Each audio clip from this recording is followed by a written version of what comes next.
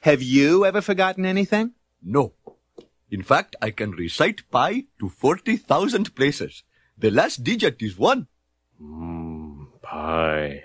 Well, if you never forget anything, tell me this. What color tie am I wearing? You are wearing a red and white striped club tie in a half Windsor knot. Oh, I am, am I? Is that what you think? Well, if that is what you think, I have something to tell you. Something that may shock and discredit you. and that thing is as follows. I'm not wearing a tie at all.